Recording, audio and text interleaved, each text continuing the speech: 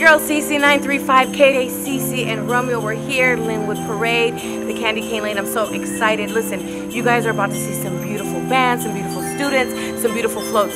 So come experience the parade